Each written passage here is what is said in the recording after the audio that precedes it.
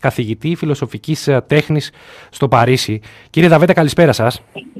Καλησπέρα σε εσάς και στους ακροατές μας. Πότε, πότε, φτάσατε, πότε φτάσατε εδώ στην, ε, στην Ελλάδα; Έφτασα δύσκολα γιατί όπως καταλαβαίνετε δεν ήταν εύκολες, εύκολες οι πτήσεις. Ναι. Ε, μπόρεσα και βρήκα μία ίσως τις τελευταίες πτήσεις. Ε, τα κατάφερα όμως γιατί μαθήματα δεν γίνονται πια παρά μόνο ηλεκτρονικά και ήθελα να είμαι κοντά στην οικογένειά μου. Mm-hmm. Και έπειτα τα πράγματα είχαν ζωρίσει πολύ τον τελευταίο καιρό στη Γαλλία.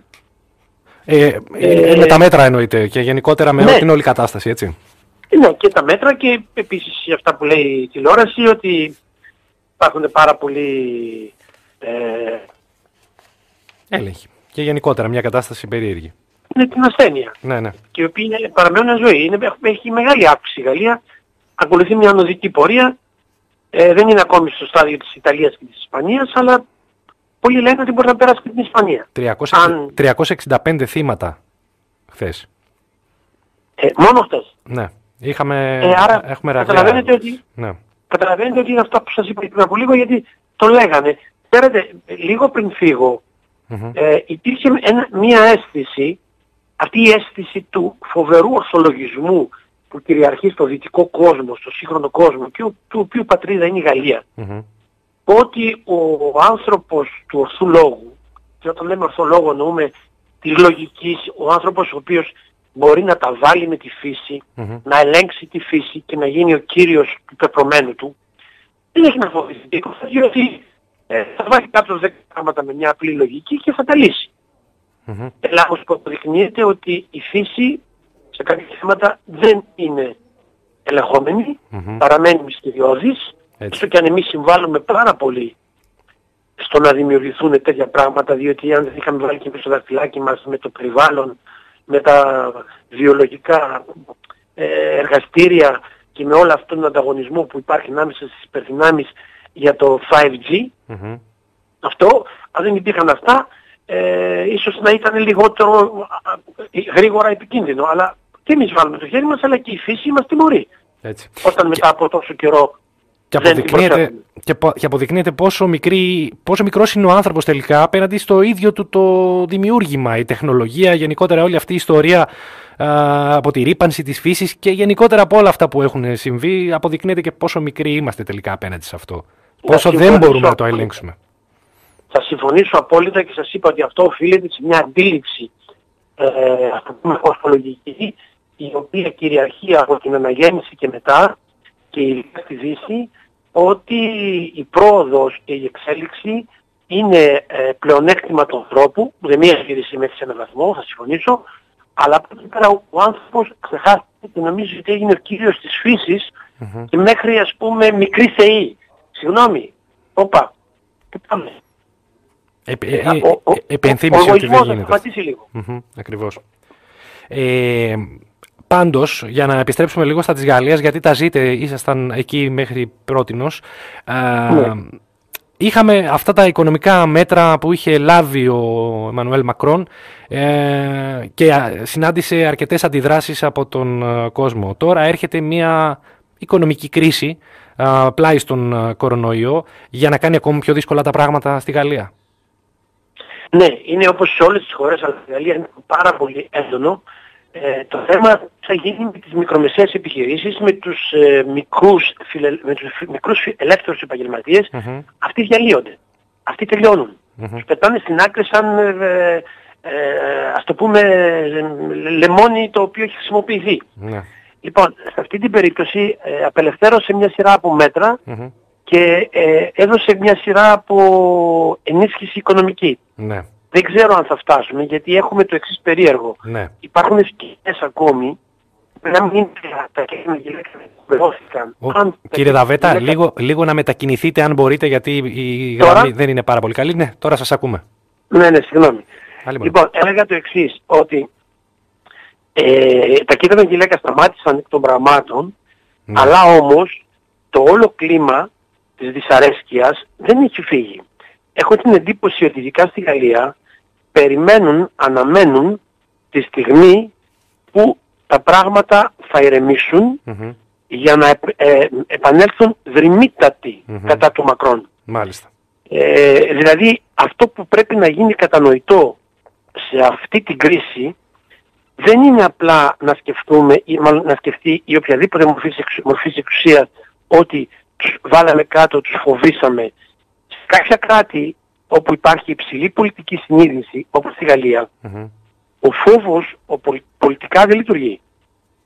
Δεν λειτουργήσε σε επίπεδο θανάτων και ακροτηριασμών. Ναι. Άρα θα πρέπει η εξουσία να βρει λύσεις, να βρει απαντήσεις.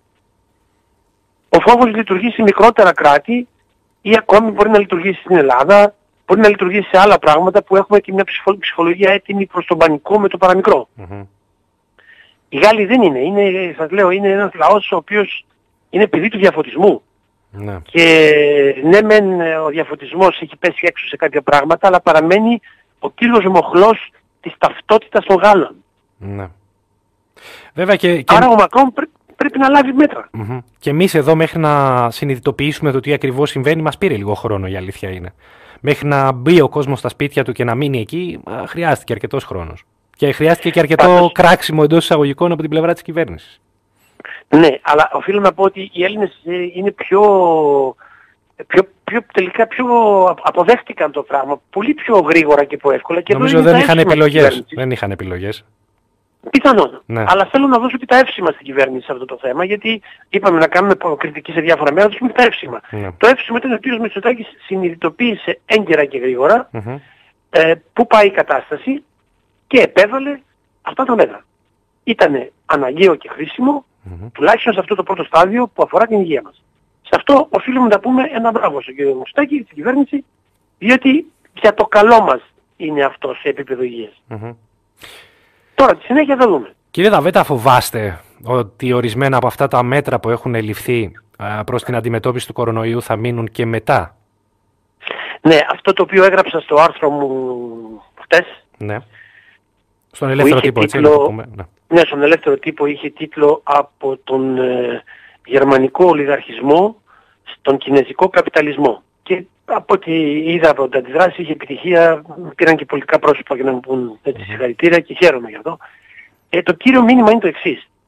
Αυτή η κρίση θέτει υπό σοβαρή αμφισβήτηση την γερμανική πολιτική της λιτότητας. Ναι. Αυτά των ισοσκελισμένων ε, προϋπολογισμών. Ε, και το είδαμε και χτες στην, ε, αυτό που έγινε στην Ευρώπη. Ναι. Σε σχέση με το ευρωομόλογο. Οι είπαν, ναι, ναι για μνημόνιο λέει. Τι μνημόνιο. Εδώ ο κόσμος καίγεται.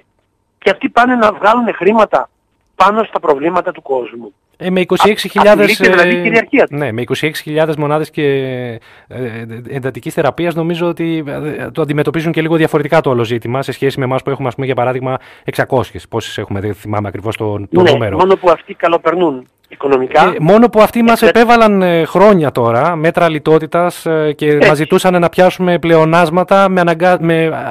εξαναγκάζοντάς μας ουσιαστικά να πάρουμε πόρους από την δημόσια υγεία και να τους διαθέσουμε κάπου αλλού για να πιάσουμε τους στόχους. Ναι, τους επιστρέφαμε σε αυτούς. Μας δανείζαν, ε, τα επιστρέφαμε τα περισσότερα σε αυτούς και μάλιστα και με τόκους τεράστιους. Mm-hmm. Συγγνώμη, δεν μπορεί να συνεχιστεί αυτό το πράγμα. Ο Νότος θα ξεσηκωθεί αν δεν προσέξουν οι Γερμαναράδες, συγγνώμη που μιλάω έτσι, ε, αλλά αυτό είναι το ένα σημείο, ότι σηματοδοτεί την, ε, την αμφισβήτηση της γερμανικής κυριαρχίας. Πρέπει να αποτινάξουμε αυτή την αντιληψη που λέει ότι οι Γερμανοί είναι πιο ισχυροί, έτσι καλώς θα έχουν το πάνω χέρι. Δεν κατάλαβα. Και ο Μακρόν είναι ισχυρός. Και η Γαλλία είναι ισχυρή. Να στηριχτούμε γύρω από τη Γαλλία. Δίπλα, με τους Γάλλους είμαστε φίλοι. Ο Μακρόν είναι νέος. Μπορεί να του κάνουμε κριτική όπως όλους τους πολιτικούς, αλλά έχει μπροστά του όλα τα προσόντα να αντιμετωπίσει την, το λεγόμενο γερμανικό εγωισμό. Ναι. Και επίσης το δεύτερο σημείο, το οποίο είναι πιο επικίνδυνο, στα πλαίσια της παγκοσμιοποίησης, είναι ότι αυτή τη στιγμή πάει να επιβληθεί ένα μεικτό μοντέλο ανάμεσα στην κινέζικη λογική και στην ευρωπαϊκή παράδοση. Η ευρωπαϊκή παράδοση δεν μπορεί να γίνει ποτέ Κίνα. Γιατί, Γιατί έχουμε τα δημοκρατικά δικαιώματα. Έχουμε το αίσθημα της αυτονομίας, της ατομικότητας, της ελευθερίας, της δημοκρατίας. Αυτά δεν μπορούμε. Όσο και αν τα κάνουμε, τα κόβουμε κάπου κάπου και αρκετά τα κόβουμε μάλιστα στην Ευρώπη, παρόλα τα αυτά παραμένουν μέσα στο ασυνείδητό μας, στην ταυτότητά μας, στην πολιτιστική θεμελια, θεμελιακές ρίζες. Αυτό το πράγμα όμως εάν το δούμε τώρα σε σχέση με τις μεθόδους που η Κίνα προτείνει, επιβάλλει και κραυγάζει διθυραμβικά, μπορεί να δώσει ιδέες σε νέους ηγέτες που έρχονται στην Ευρώπη να εφαρμόσουν αυτό την λεγόμενη κινέζικη ικανότητα εκτελεστικότητας. Τι σημαίνει αυτό; Καταρχήν βλέπουμε ότι η Κίνα δεν έχει καμία ενοχή στο να σε κάνει τα βούλη στο ξύλο. Δηλαδή καμία ενοχή. Εγώ είδα σκηνές ε, πως κάποιους ανθρώπους που δεν υπακούαν στον κορονοϊό, είδαμε στην τηλεόραση, στη Γαλλική, τους αντιμετώπισαν με απόσχη. Όπως αντιμετωπίζουμε ένα ζώο. Ναι. Λοιπόν, αυτούς τους ανθρώπους, αυτή τη λογική, την απενοχοποιημένη, η οποία δεν έχει να κάνει με, την, με τη μνήμη της δημοκρατίας, δεν υπάρχει τέτοια μνήμη στην Κίνα, ναι. Εύχομαι και απέφχομαι, αν και δεν είμαι σίγουρος 100%, ότι οι νέες τάσεις ηγετών και η παγκοσμιοποίηση δεν θα κοιτάξει να το περάσει και στην Ευρώπη με αποτέλεσμα να έχουμε μια επιστροφή πολιτικών αντιλήψεων και συστημάτων προεδρικών, όχι προεδρευομένων, προεδρικών. Δηλαδή όταν λέω προεδρικών όχι με την έννοια της, της παλιάς προεδρικής δημοκρατίας, αλλά όπου το Big Boss θα παίρνει αποφάσεις σκληρές, ξεπερνώντας ανά πάση στιγμή κάθε δημοκρατικό Στο όνομα του α ή β κινδύνου. Βέβαια, Γιατί από... κάποιες φορές η ναι. κίνδυνη είναι πραγματική, κάποιες φορές όμως είναι και εικονική. Βέβαια από τη μια έχουμε τον, τον, ε, την Κίνα η οποία ουσιαστικά το καταπολεμά όσο μπορεί. ήδη τα κρούσματα μειώνονται. Υπάρχουν και μέρες που δεν ανακοινώνονται νέα κρούσματα. ναι. Σε αντίθεση με τον Ντόναλτ Τραμπ, ας πούμε, για παράδειγμα, που ακολουθεί ένα διαφορετικό μοντέλο. Δεν ξέρουμε τι έχει στο μυαλό του ακριβώς. Αλλά θεωρεί ότι όλο αυτό συμβαίνει για να το ρίξουν κάποιοι από, την, από τον προεδρικό του θόκο, ότι για να πάει στις εκλογές ηττημένος και σκοπεύει να ανοίξει την χώρα, δηλαδή να τη βγάλει από την καραντίνα πριν από το Πάσχα. Αυτό είναι τεράστιο ναι. ρίσκο. Είναι τεράστιο ρίσκο. Υπάρχει μια ανάλυση η οποία λέει το εξής και πολλά άθρα ότι οι Κινέζοι δημιούργησαν αυτόν τον... Τώρα προσοχή, αναλύσεις είναι αυτές, έτσι. Εγώ ναι. δεν έχω αποδείξει, δεν είμαι ειδικός, αλλά μεταφέρω αναλύσεις, μπορεί να τις δείτε στις εφημερίδες της γαλλικές. Ναι. Ε, και είναι και επίσημη καταγγελία του Τραμπ, ότι οι Κινέζοι με αυτόν τον ιό, ναι. που ουσιαστικά είναι ιός εργαστηρίου, όπως λέει ο Τραμπ και οι άλλοι, ναι. έχει, έχει αυτή την ικανότητα της λεγόμενης mutation. Τι σημαίνει αυτό, ότι μεταμορφώνεται ναι. ε, σε κάθε μέρος εισχωρεί χωρίς να μπορεί να αντιμετωπιστεί με τα ίδια μέτρα. Ναι. Παίρνει δηλαδή το χαρακτήρα του κάθε μέρους. Ναι.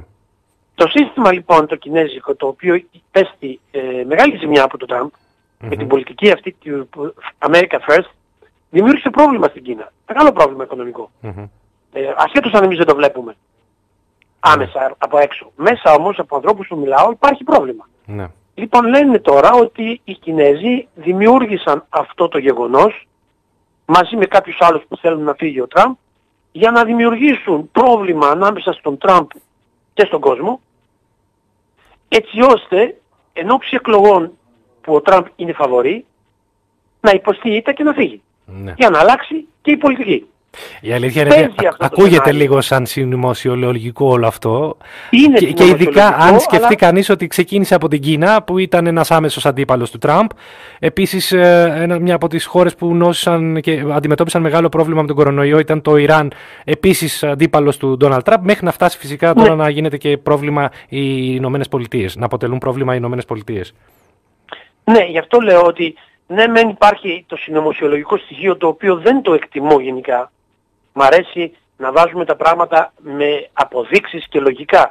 Όμως στη λεγόμενη πολιτική και η λεγόμενη πλευρά σιωπηλή, σκοτεινή που δεν αποδεικνύεται. Ναι. Και ξέρουμε πολύ καλά ότι μετά από χρόνια έρχονται στο φως αρχεία τα οποία μας εντυπωσιάζουν με αποφάσεις που πάρθηκαν πριν 20, 30 ή 40 χρόνια σε σχέση με μεγάλα σημαντικά γεγονότα της ανθρωπότητας. Ακριβώς. Άρα, και νομίζω ότι τέτοια θα πρέπει να περιμένουμε στο μέλλον. Ναι. Δηλαδή δεν αποκλείεται ακόμη και αν μοιάζει με φιλμ. Αφήστε που τελικά από ό,τι βλέπουμε τα φιλμ γίνονται πράξη. Βλέπαμε όλοι μικροβιολογικούς πολέμους, βλέπαμε τέτοια πράγματα και λέγαμε τι ωραίο φιλμ.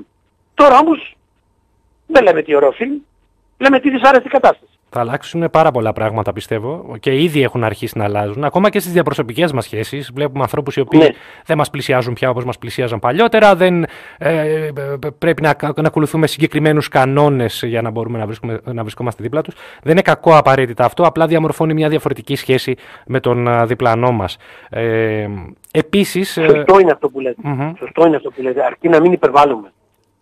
Ισχύει, ισχύει και αυτό. Και αρκεί να έχουμε και καλή και θετική σκέψη ότι αυτό το πράγμα θα το ξεπεράσουμε κάποια στιγμή. Ότι θα, να ακολουθούμε τους κανόνες. Ακριβώς. Να ακολουθούμε τους κανόνες. Αυτούς που οι γιατροί, οι γιατροί μας λένε. Δεν χρειάζεται να κόψουμε επαφή από όλο τον κόσμο και να γυρίσουμε σε μια μοναχικότητα που μας οδηγήσει στην τρέλα στο τέλος. Mm-hmm. Δεν χρειάζεται αυτό το πράγμα. Ε, Πιστεύετε ότι αυτό το θέμα που έχει να κάνει με την πολιτική της Γερμανίας απέναντι στο όλο ζήτημα της Ευρωζώνης ε, και σε συνδυασμό με όλο αυτό που συνέβη σε Ιταλία, η οποία ε, επίσης αντιμετώπισε οικονομική κρίση και στην Ισπανία που επίσης είχε μνημόνιο, ε, είναι τυχαίο το γεγονός αυτό, ότι, αυτά, ότι τα προβλήματα στη, στον τομέα της υγείας και συστήματα υγείας κατέρευσαν λόγω της προηγούμενης κατάστασης και της οικονομικής πολιτικής που ακολουθήθηκε στην Ευρωπαϊκή Ένωση; Όχι, εγώ θα το δεχτώ αυτό και θα σας πω γιατί. Mm-hmm. Γιατί όταν αρχίσουν οι περικοπές λόγω της λιτότητας mm-hmm. και όταν από τα πρώτα στοιχεία των περικοπών είναι το θέμα της υγείας mm-hmm. και της παιδείας, ε, αναρωτιόμαστε ποιος είναι ο στόχος αυτό. Μπορούμε εύκολα λοιπόν να δούμε ότι ο στόχος είναι η πνευματική φτώχεια, η εκπαιδευτική φτώχεια στη μία πλευρά και από την άλλη να μην, επειδή έχουμε μεγαλύτερο προσδόκιμο ε, χρόνο ζωής, να κάποιοι οι οποίοι τέλος πάντων έχουν μεγαλώσει πάρα να φεύγουν χωρίς να τους κρατάμε με το ζόρι. Μάλιστα. Ε, αυτό το πράγμα το οποίο δημιουργεί μια μορφή αν θέλετε ε, σκληρή, απάνθρωπη ε, εμένα δεν με εκπλήσει. Και δεν με εκπλήσει καθόλου γιατί η γερμανική πολιτική επέβαλε αυτό στο Νότο με αποτέλεσμα η μεν Γερμανία να έχει επάρκεια στην υγεία και στις κλίνες ναι οι δε, ο δε Νότος, οι χώρες του Νότου να μην έχουν επάρκεια. Πρέπει να καταλάβουμε στην Ευρωπαϊκή Ένωση, αν θέλουμε να μείνει η Ευρωπαϊκή Ένωση, γιατί έτσι όπως πάει δεν θα μείνει. Ε, η αλήθεια είναι αν θέλουμε να μείνει, θα πρέπει να μπει φραγμός στη Γερμανία. Η Βρετανία, ένας από τους λόγους που έφυγε, πέρα από οτιδήποτε άλλο, ήταν και αυτό. Δεν ήθελε να πληρώνει για τη Γερμανία. Mm. Υπάρχει μεγάλη αυτογραφία γι' αυτό. Άρα, δεν μπορεί η Γερμανία να μας έρχεται με μια νέου μορφή τρίτου παγκοσμίου πολέμου και να περνάει όλα τα μέτρα της, τη λογική της αυτή την συντηρητική, την ηθικολογική λογική, να την περνάει σε όλο τον κόσμο και να θέλει να αλλάξει τη ζωή μας με το ζόρι. Δεν έχουν το δικαίωμα ούτε το ηθικό, ούτε το ανθρώπινο δικαίωμα. Να μην τους το αφήσουμε, να μην το επιτρέψουμε. Η πολιτική της κυβέρνησής μας και των άλλων κυβερνήσεων από χώρες που είναι πιο αδύναμες οικονομικά όπως εμείς, να αντιδράσουμε. Εγώ πάντα πιστεύω ότι πρέπει να υπάρξει μια μεσογειακή ένωση οικονομική. Θα είναι ένα πολύ καλό αντίβαρο απέναντι στη γερμανική ηγεμονία. Το είχε πει παλιότερα ο Σαρκοζή, το σταμάτησαν γιατί θεώρησαν ότι ήταν εμπόδιο στην Ευρωπαϊκή Ένωση, στην ενοποίηση δηλαδή.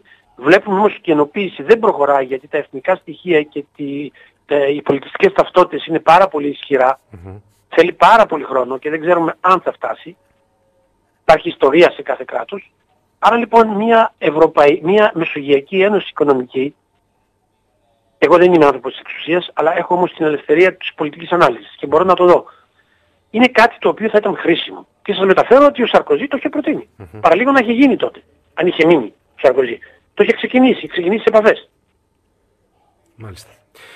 Και επίσης ο μοναδικός που φαίνεται ότι δεν κατάλαβε ακριβώς τι τον περιμένει και το τι έρχεται ήταν ο Ερντογάν, ο οποίος τώρα φτιάχνει νεκροταφεία για ανθρώπους οι οποίοι θα, θα φύγουν από αυτόν τον κόσμο για, από τον κορονοϊό. Δεν ξέρω ε, αν, είδατε τις, αν έχετε κάνει δει πάρα πολλά λάθη. Θα συμφωνήσω μαζί σας. Ο ναι. Ερντογάν έχει κάνει πάρα πολλά λάθη. Όχι μόνο σε θέματα εσωτερικής πολιτικής, με την έλλειψη δημοκρατίας. Εγώ τον θεωρώ ε, Δήμο Παύλα Κράτορα, Δημοκράτορα. Mm-hmm. Δηλαδή το Δημοκρατία και Δικτατορία. Αλλά τώρα και με αυτό κάποια στιγμή, έτσι με την πολιτική που εφαρμόζει, θα γυρίσουν όλα εναντίον τους. Δεν μπορεί μέχρι τώρα. Ε, κάνει περίεργα σλάλομ, περίεργες κινήσεις και του βγαίνουν προς το παρόν. Δηλαδή του βγαίνουν με την έννοια ότι κρατιέται στην εξουσία. Με αυτή τη λογική του βγαίνουν. Mm-hmm. Όμως οι εχθροί, οι εχθροί μεγαλώνουν. όταν το πρόβλημα αυτό μετατεθεί μέσα στην Τουρκία και αρχίσουν οι πολλαπλοί θάνατοι, ναι. τότε Να το, το- πρόβλημα αυτό δεν το θα είναι ευχόμαστε φυσικά τεράστιο αυτό, για να έτσι. το κάνει. Ναι. Δεν θα μείνει στην εξουσία. Μάλιστα. Ο κόσμος θα ξεσηκωθεί. Ε, διότι θα, θα του χρεώσει πολιτική ανοριμότητα και πολιτική ανευθυνότητα. Φαντάζομαι ότι πολλοί ηγέτες θα το αντιμετωπίσουν αυτό το ζήτημα αργότερα βέβαια, όταν τελειώσει όλο αυτό και όταν θα είμαστε σε θέση να βγούμε από το σπίτι και να συμπεριφερόμαστε πλέον όπως παλιά. Ε, δεν, θα είναι, δεν θα είναι ο μοναδικός Ερντο- ο Ερντογάν που θα αντιμετωπίσει αυτό το πρόβλημα. Νομίζω ότι είναι ένα crash test για όλους τους ηγέτες αυτός, ο- αυτό το ζήτημα. Συμφωνώ. Συμφωνώ μαζί σας και σας είπα ότι στη Γαλλία... Ακόμα η και για το εμπειρία μου συνολικό λέει- σύστημα, δηλαδή αυτό που επικρατούσε μέχρι τώρα, ε, είτε, το, είτε θέλετε να το πούμε καπιταλιστικό, είτε θέλετε να το πούμε κοινωνικοπολιτικό και γενικότερα όλη η κατάσταση νομίζω θα, θα, θα δεχτεί ένα τεστ όλο αυτό το διάστημα. Εγώ θα έλεγα το εξής. Εδώ πέρα υπάρχει ένας πόλεμος ανάμεσα στις τράπεζες και στην πολιτική. Ε, αυτός ο πόλεμος έχει βαστάει από τα χρόνια του 80 που ξεκίνησε η παγκοσμιοποίηση μέχρι σήμερα. Ναι. Ποια είναι τα στοιχεία αυτού του πολέμου; Ότι οι τράπεζες θέλουν να ελέγξουν τα πάντα και μέσα από τους δικούς τους ανθρώπους να ελέγξουν τις πολιτικές των κυβερνήσεων. Άρα την οικονομία και τη ζωή μας.